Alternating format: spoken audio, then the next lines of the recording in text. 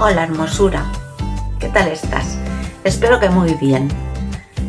A ver, hoy no te traigo estas flores ni nada de esto, lo he puesto así para que veas que esta malla tan bonita, que es de crochet libre, o sea, que no tiene patrón ni, ni dirección ninguna, o sea, lo que, lo que se llama free crochet, o sea que tú vas haciendo la malla conforme te va saliendo y seguro, seguro que te sale algo bonito, pues también puede servir para unir combinaciones de flores bien bonitas. Aquí se puede unir otra malla o haberla hecho más grande, en fin, como tú quieras. Yo directamente también me imagino la espalda de un top, toda así, toda calada y luego pues el delantero diferente. No sé, yo creo que se pueden hacer tantas cosas y es tan divertido de hacer porque como te digo pues vas haciendo lo que te va saliendo luego simplemente lo mojas lo aplanas lo le das un poco la forma y luego ya si quieres alguna forma en concreto pues irías rellenando al final de todo el grande los espacios yo aquí pondría una flor, pero puedes acabar de hacer un poco pues las últimas líneas, dándole la forma que tú quieras. ¿eh? Pero vamos, yo lo veo para hacer composiciones así como unos tapetes o, toda una blusa con, con aplicaciones. Bueno, estas son las que ya teníamos, que ya las hemos hecho en el canal y todo, pero bueno, puedes hacer una composición que a ti realmente te guste.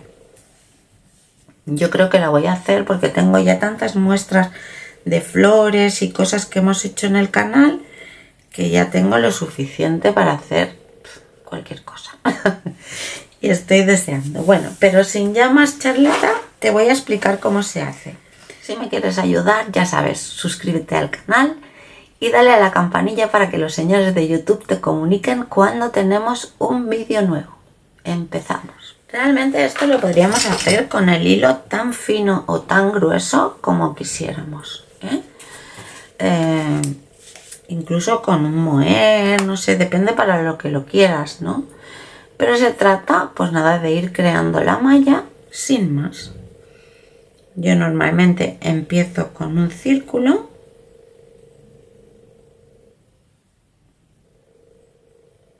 todo lo grande que quieras. O sea, aquí no, no hay normas, ¿eh? Tú vas viendo y vas haciendo lo que más te guste. Yo voy a rellenar este círculo.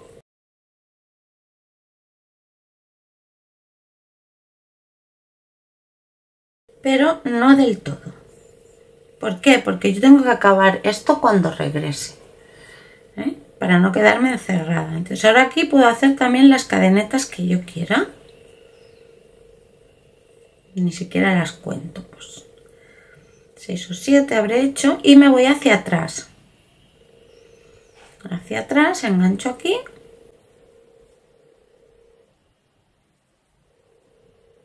Así.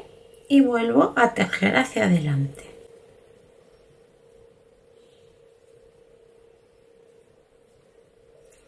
Hasta un punto, el punto que tú quieras. ¿Ves como siempre tengo aquí el último trozo para rellenar de cada arco? Si ahora este lo termino, luego cuando vuelva hacia aquí, para llegar a este, no podré hacerlo. Entonces sí que siempre dejo una parte por terminar. Hasta que decido que ya este grupito lo voy a terminar ya te digo, más cadenetas, menos, si haces así, pues el agujero te quedará más estirado, si haces, si lo haces más, si, saltas menos cadenetas, el arquito te quedará más así, si saltas menos, más alargado, dijéramos. ¿eh? Pero esto yo no, ni siquiera lo pienso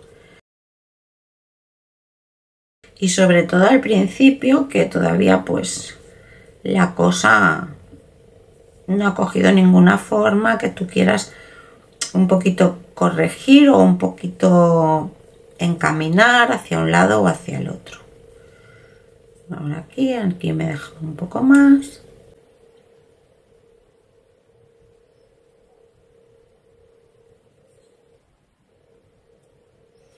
Hacia atrás. Y sigo rellenando. Ahora vamos a terminar este grupito de 1, 2, 3, 4, por ejemplo.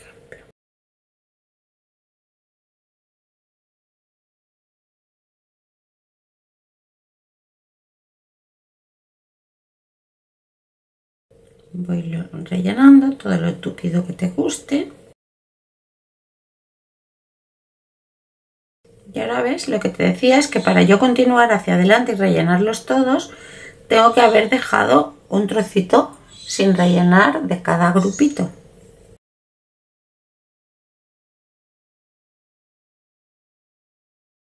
¿Y ahora qué puedo hacer? Pues ahora también lo que puedo hacer en vez de terminar es hacer otro nivel para que no se vea tan cuadrado, tan recto. Me voy hacia atrás, pincho aquí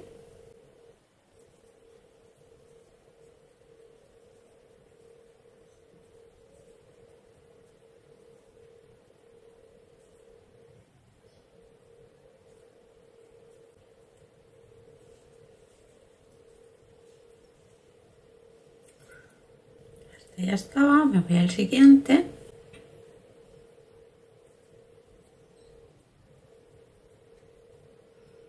Y ahora ya puedo terminar de rellenar el último.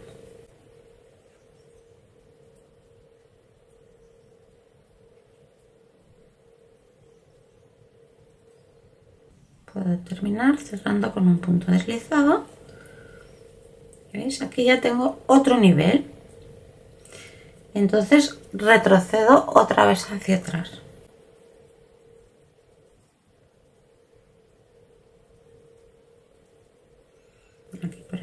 8, 8.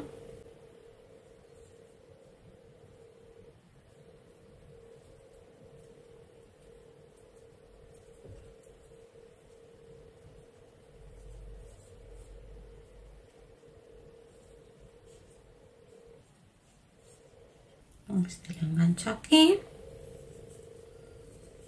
Sigo.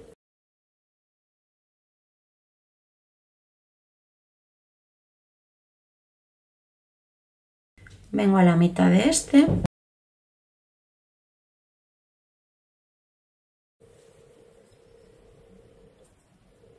y así también lo puedo hacer ¿eh? si ahora quiero hacer una vuelta en que todas estén sin rellenar y yo trabajo todo hacia adelante. Aunque yo prefiero hacerlo un poco escalonado para que se vea un poco que la forma pues es más es menos estructurada.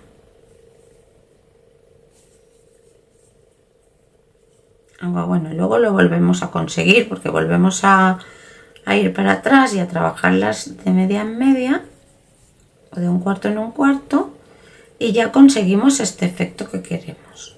Bueno, al menos es el que a mí me gusta, ¿eh? una cosa que no se vea muy uniforme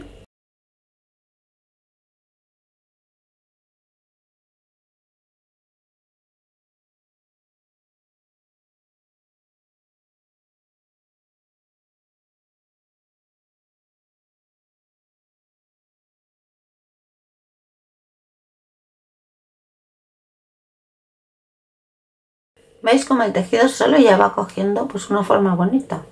Sin más. Y ahora, bueno, podría acabar aquí y volver a empezar. O puedo empezar e irme otra vez hacia atrás.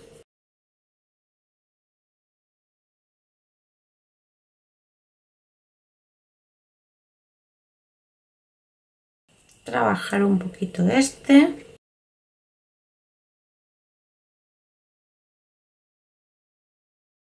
irme otra vez para atrás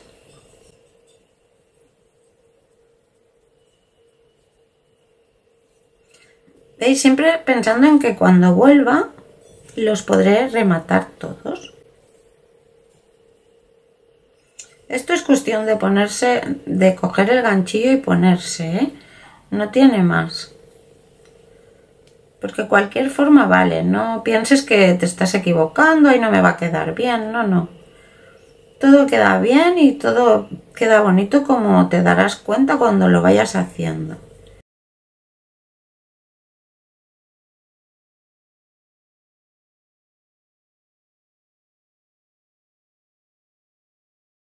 Aquí hago una pequeñita, no sé por qué, pero bueno, la hago.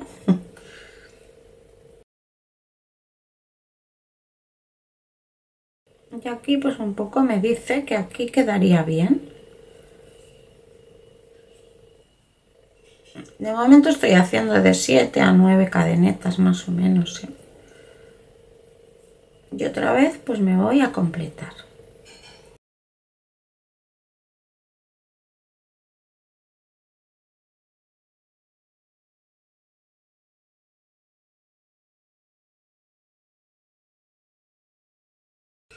está bien rellenarlas bastante si queremos que haga una forma más arqueada.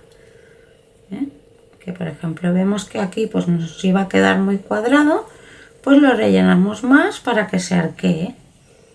Porque tampoco queremos cuadrados, queremos una malla irregular, pero que no quede muy cuadrada, sino que quede de diferentes formas. Ahora volvería a ir para atrás o iría un... Puedo incluso ir para atrás y dar toda la vuelta, ¿eh? O sea, esto ya según el ánimo y las ganas. Como veis,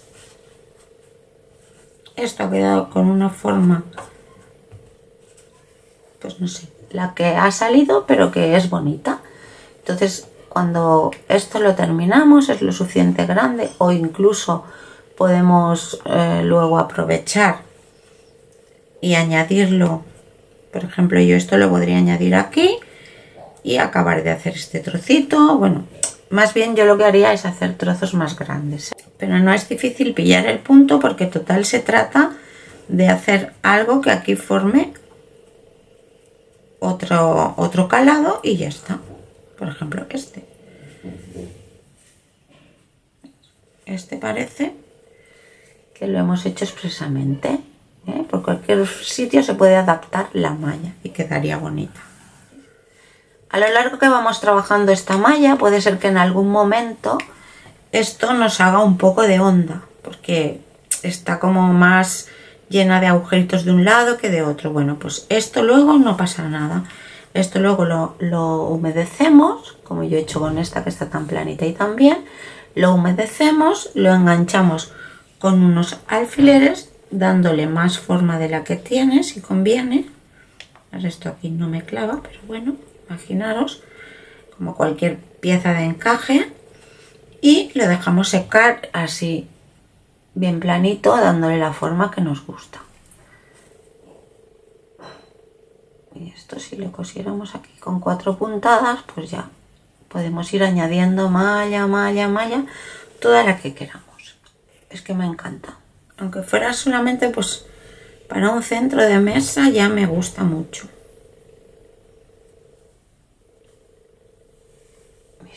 Es que cualquier composición de flores por aquí encima, de hojas, sería preciosa. ¿De acuerdo? Pues espero que te haya gustado. Si es así, regálame ese me gusta que me gusta tanto. Y nos vemos en el próximo vídeo. Te mando un abrazo muy grande. Chao.